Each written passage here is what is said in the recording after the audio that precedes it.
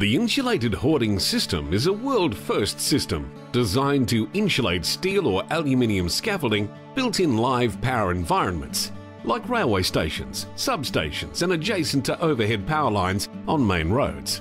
Its non-conductive property can withstand 40,000 volts of current for up to 30 seconds.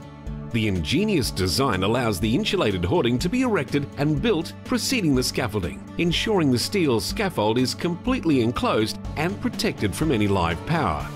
The system's lightweight modular construction enhances safety and efficiency for the installers, tradesmen, the public and surrounding infrastructure. Each individual screen is fixed to its neighbouring screen and to the scaffold ledges and standards using non-conductive nylon clamps. The red coloured frame allows the installers to attach lanyards to the screen during lifting to eliminate the risk of the screen falling.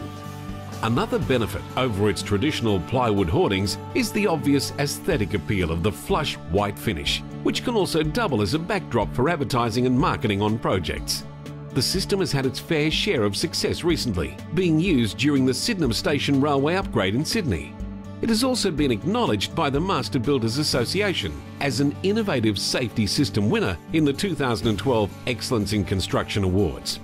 We hope to meet with you to discuss how the insulated hoarding system can benefit your next project.